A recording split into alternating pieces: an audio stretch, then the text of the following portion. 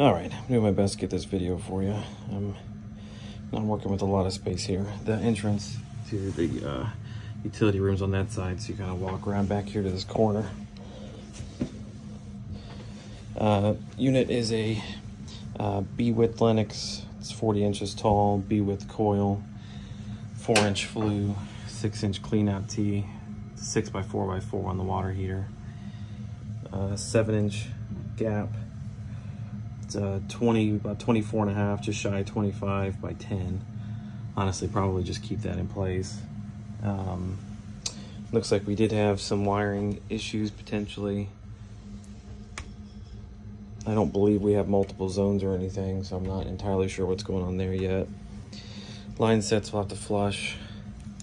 Drains on the floor right here. Um, thing I can say is this is an, uh, an 88,000 BTU, so I'll probably have to jump up to 100,000, which goes to C width. So it'll probably just be a little wide on this side. I'll keep the same return in place. That way you can throw the 1210 there without having to replace that return with the exact same size. Gas shut off. Uh, we don't have any combustible air grills in the walls, but all of the ceilings are open.